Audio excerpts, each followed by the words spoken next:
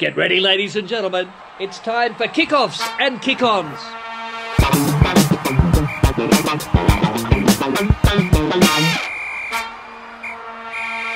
Hello and welcome. You good? I'm all good, mate. Let's do it. Hello and welcome to Bits with Gits. This is a special one. Got the great Darcy Breen, um, 25 years old. He's from Sydney. Uh, eight Super Cats Eight super caps. for the Waratahs. Unfortunately, still, I mean, it's good that you got to play for them, but Absolutely. uh, eight of those, and he's the leader of our mini team, the Seals, the Great Seals. This is a That's handshake. Bang. Stole it straight from the Bra Boys, but it's all good. Strength Did and we? honor. Yeah. Gee, I thought that was yours. I think so. Yeah. Well, I I came I, I came into it. Yeah. So, but I think let's do it again, Yeah, it's more of a Seal thing, definitely.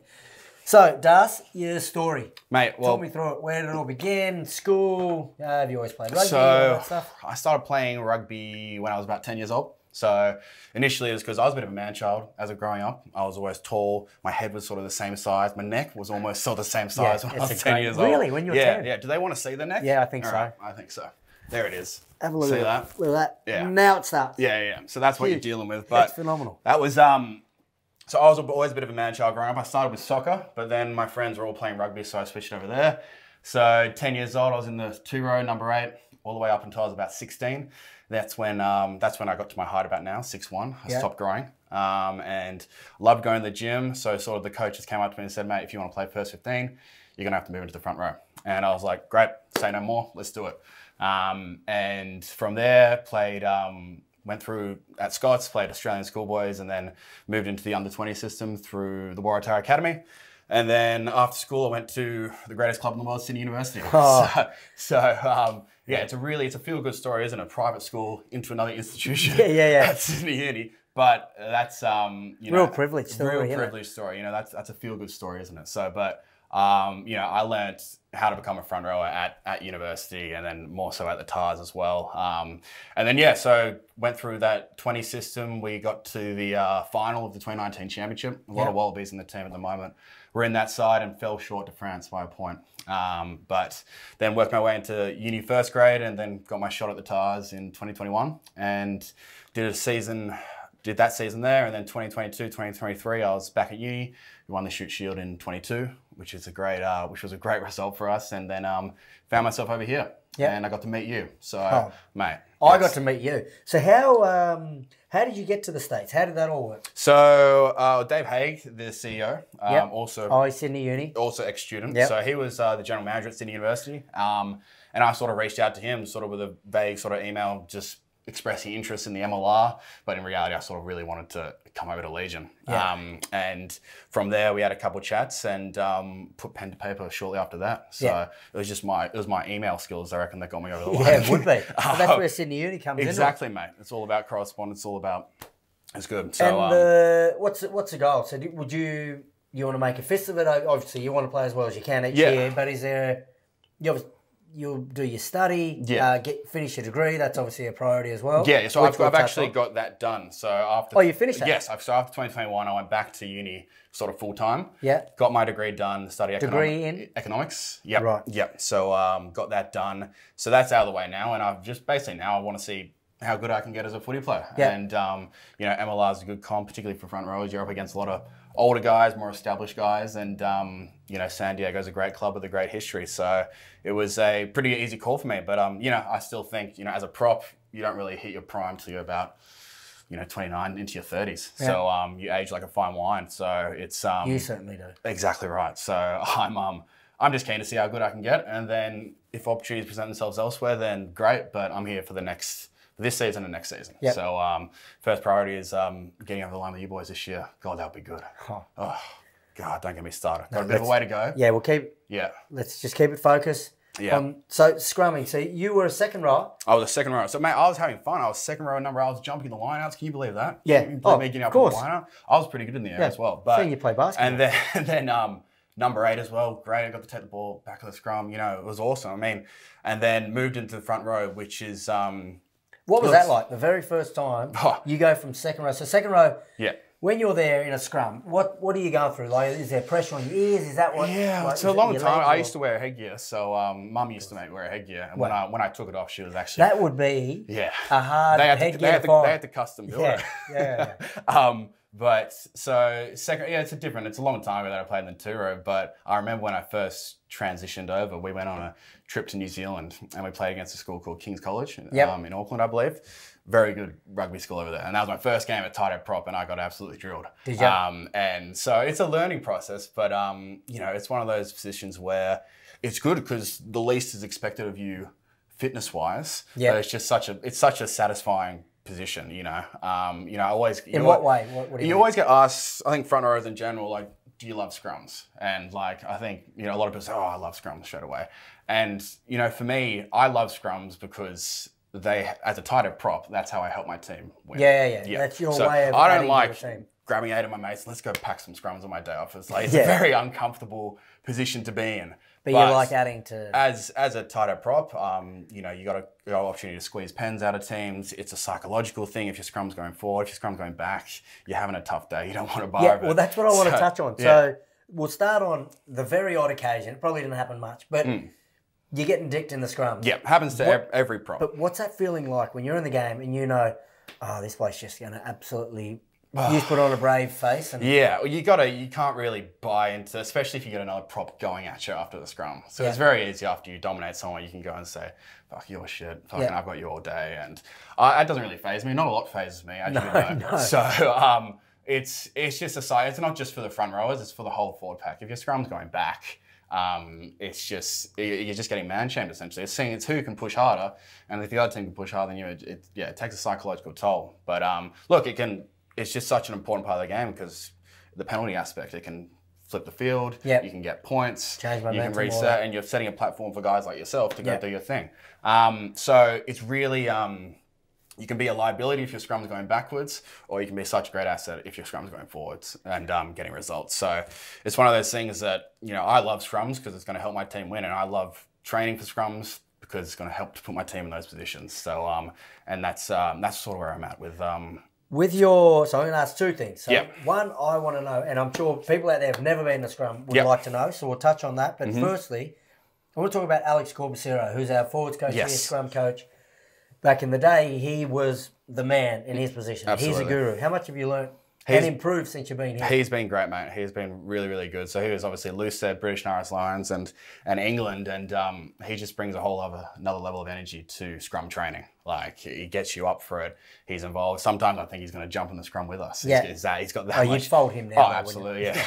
he's just around. I'm very careful, but he's um no, he's been great. I've learned so much, and I think this year's sort of been my where I felt most comfortable in the scrum, um, and just some key things that I'm going to take forward. Um, so no, he's been great. We um, we, we really look closely at our scrum, and as I said before, it's just such an important part of the game. So when we get it right, um, it's just such a morale booster. I think. And this is the one I wanted to touch on. Mm-hmm. So this will be the last time we talk about because scrums make me a little sleepy. Okay, yeah. But what I've always wondered, what what does it feel like when you're in there and you're hitting? Like, is there is there enormous amounts of pressure in your head? You wouldn't feel a thing in your neck, but you know, like where? And obviously, I know it burns your legs. Yeah. Because you've obviously got to push against them. But what is that feeling like? And and when it collapses, like, what do you Yeah. like? What do you? Well, you? You're lying down flat, not knowing where the ball is. Like, yeah, well, it's one of those things when you look at it at face value, you get 900 kilograms, bang, going against each other as hard as they can. So I think since, because I've scrummed so much, you sort of forget what it feels like. Yeah. Um, but it's just an immense amount of pressure. As a tighthead, you're scrummaging against two people. Yeah. So I've got a loose head trying to fill me in, and I've got the hooker, I've got the hooker trying to fill me in as well. So you got to be strong obviously both sides of your body. You got to lock your left shoulder down, but it's just you're sort of holding your breath and you're waiting to find uh, a lapse in pressure. Yeah. So if I feel my right shoulder's going down and I feel oh I've got this loose head a little bit, I'll try chase that, and from that you can So it's basically whoever gives up first. Basically, yeah, yeah. It's just it's just mano a mano. Just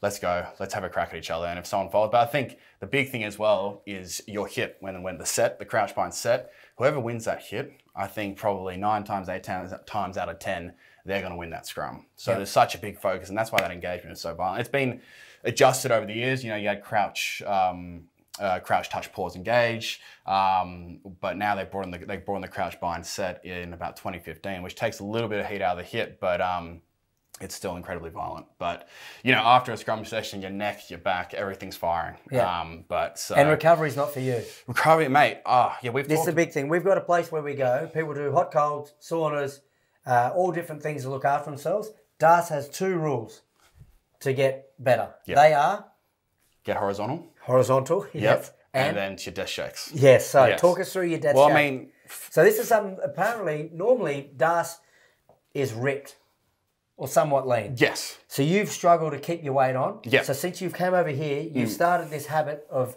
having a death shake Yep. every night. Mm-hmm. And how many calories are in that? That's 1500. So, 1500 uh, oh, calories. 1300. But like, I mean, I'll go back. For me, sort of, there's three sort of components of recovery. You got your nutrition, you got your hydration, and you got your sleep. Yeah. So in terms of getting horizontal, you know, my thought is, you know, you take care of your nutrition, your hydration, but when you're sleeping, what position are you in?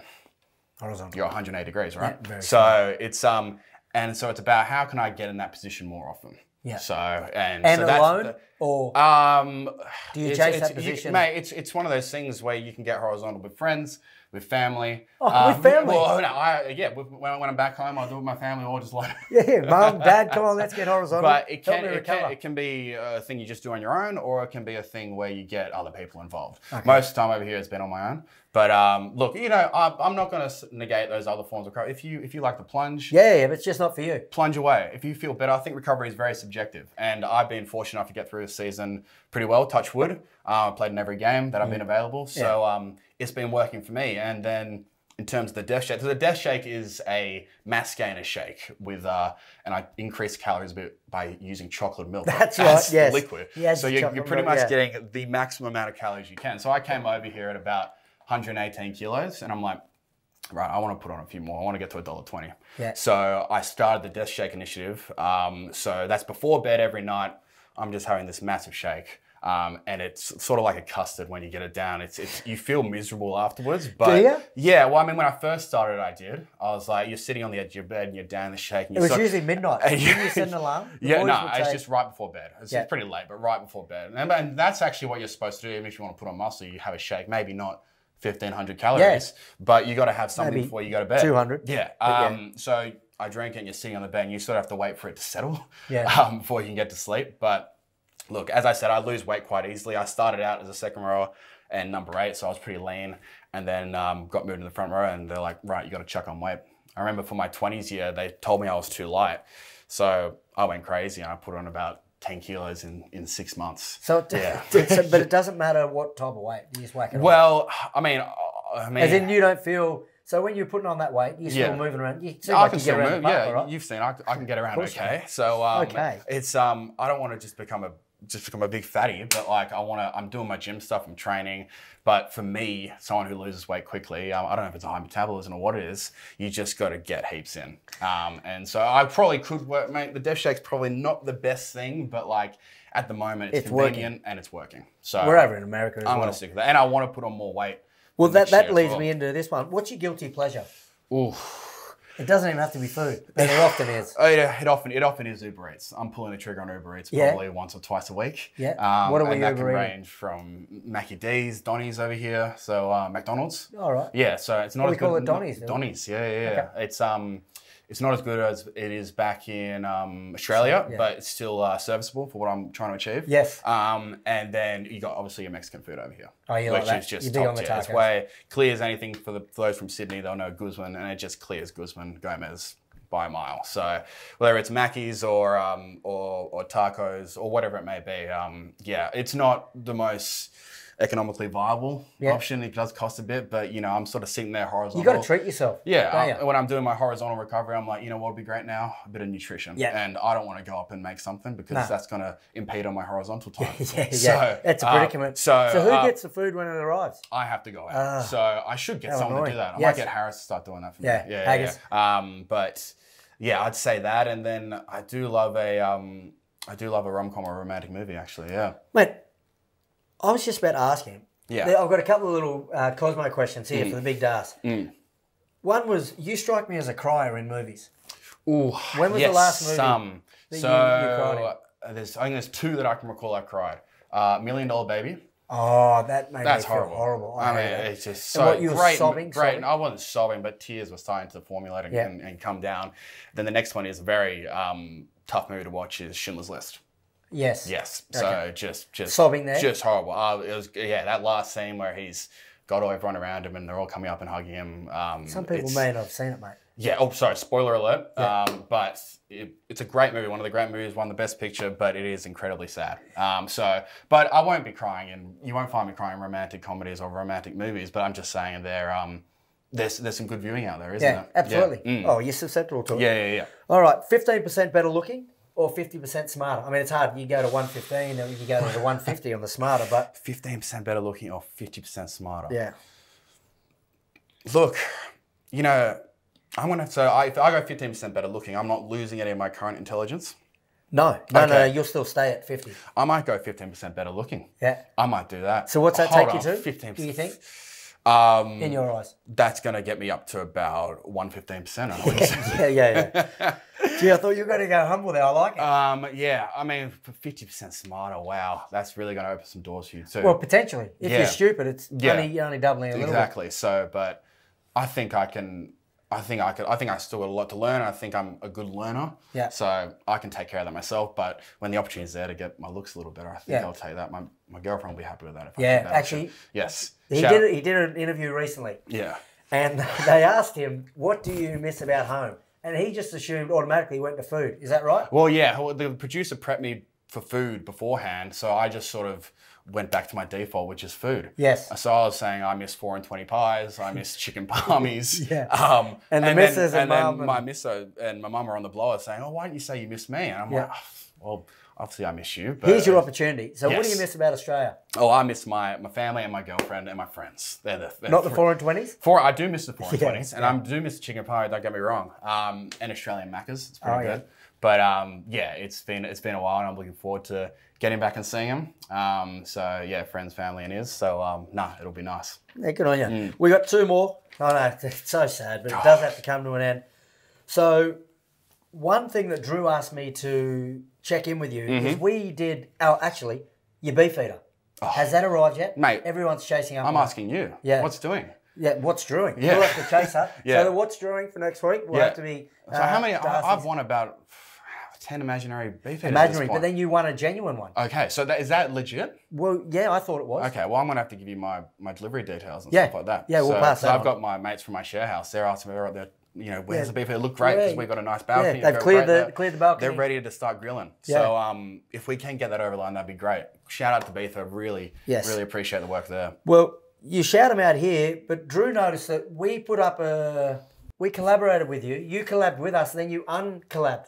Yeah, yeah. I was thinking because I thought that when I didn't realize that it would be your post. Yeah. Like it would be be a part of your post, and I was just I don't know. I had a lot of a lot, of bit of head noise. I'm, oh, I do I really want to post this? I'm like, I, obviously. I do. I love, Yeah. I love the show and stuff. But and you were I getting want- a bit of heat off I want publicity. I was just like, big- I was thinking, you know, maybe the first time it's a little bit aggressive because I already posted the Instagram story Yeah. and a couple other things. You post your stuff, so you know we might get to that point. Um, Yeah, we're not there yet. We're not there yet. So I just thought maybe drip feed it for the meantime. Yeah. Um, but yeah, I pulled back on that. So I think it's just Prof and and um and the show that shared that. Yeah, so, um, uh, there's your answer, Drew. but for And this, mate, I've, if, if we get a clip up, this is going global. Oh, Like, absolutely, we won't have to push anything. we can just start our own show. I reckon. Well, well, we'll get. we'll talk about that off Yeah, air. yeah, yeah.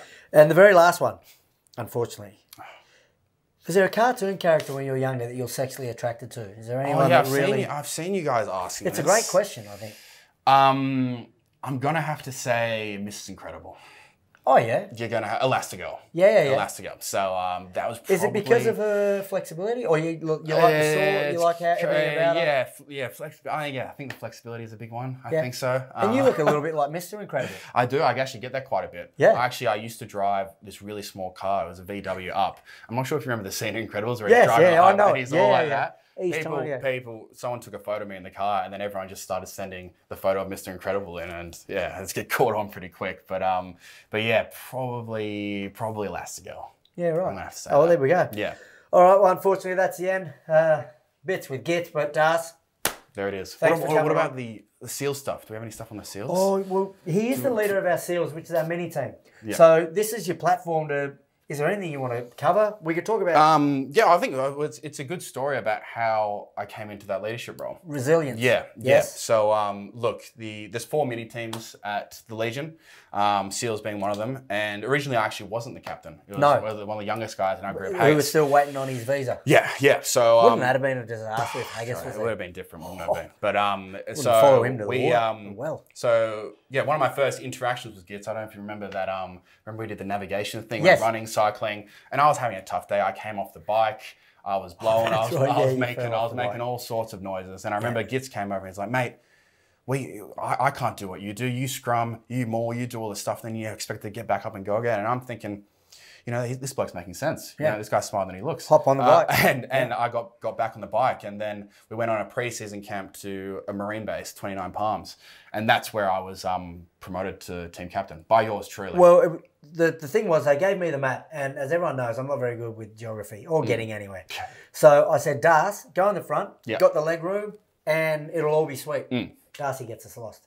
So I was one was one wrong turn. I, I, know, did pretty well. But only, it could be one or two wrong turns. you got us yeah, lost. Yeah. Then 29 Palms, we did this course where you go around and you've got to carry army material. There was one part of the crab walks where you're walking just on your hands and heels like that. And our team manager, who's a he like he's Ex-Special Forces. ex special forces, Yeah. proper gun, lives for this stuff. Darcy's there and he's he's going, I, I can't go, Bob. He said, I don't want to hear can't. You can. no, no, really, I can't. And then when I saw the how defeated you were, I was like, that's our leader. Yeah, yeah. And now look at you. Well, it was just one of those. things. I think you hate when you're in the hurt locker and people are saying, "Come on, Collins, I know I'm doing everything I can." Yeah. and it's just sort of You were like, trying. and it's sort of like just beat it. I just want to be in my own head and Yeah. and live with my head noise at that point. But um, mate, it's been a massive honor. We got a lot of good personalities in the Seals. Is there anyone you'd get rid of? You reckon? No. I No one? I can't. I can't do that. I think What you a leader. I think um, There's a you know, as, like as, as a leader, you, there's times to be firm. There's times to bring it back. But Yeah. I think everyone's grown and matured. We've got a lot of guys like yourself with a lot of experience. Hmm. But I think you know one of the Legion values, uh, the N on the Legion values. You know what that is? You don't know it, do you? No, I do not, You but I just don't wanna say Mate, it. it's on the wall in the gym. I know. Oh, I at it every time. L E G I O N. Yeah. Anyway, L is leaders lead, which is I think what I do very Absolutely, well. yeah. And then the N is never above, never below, always beside. In other words, we're all equal. Yeah. Um, and I think you got guys here with, like Gits with 100 Wallabies caps. He's one of top 14. You got guys like Marcel and Mikey, but at the end of the day. That stuff doesn't You're better matter. than everyone. That- that- yeah, exactly. And everyone's equal, but I'm more equal. Yes. As because I'm the leader. But those other stuff, while individual accolades are great, at the Seals, you know, it's we've got that feeling of togetherness and everyone buys in and helps each other. Hand up, not out is another big Yeah, thing. he loves that. Hand up, not out. It's not So- a it's not a hand up. What can I do to help my team? Yeah. Um, so look, it's um it's been a great journey. We're we're sitting in a pretty good s- oh, not the best spot, third place at the moment on the tally. We're to have to cut that out. Yeah. We're, we're, we're leading. Okay, yes. So we're sitting in a good spot? Mate, we're sitting in a great spot. We're, we're leading at the moment. Yeah. But like whatever happens, I think I think we've just we've learned so much from each other and everyone's learned a lot from myself Yes. as well. So That's the more important Yeah. part, yeah. And you, you you win or you learn. Yes. So whatever happens, um I've And had- we're I- doing both at the moment. Exactly. So I've had a, I've had an absolute blast, and um, yeah, it's really um, yeah, it's really helped me, my confidence, and my uh, leadership skills going forward. I think so. Absolutely. It's been a, it's been a massive honor. And there we have it. Bits with Gits, the great Darcy Breen. Let's do it. Let's do this one. There it is. Strength and honor, baby. Cut. Lovely. Very good. Oh, wow. That is the best video on YouTube. You know what you need to do now? You need to like and subscribe down there. Or if you want extra content, might be down there, you need to go up here or up here and get more of that gear. Thanks for supporting kickoffs and kick ons, and we will see you very soon.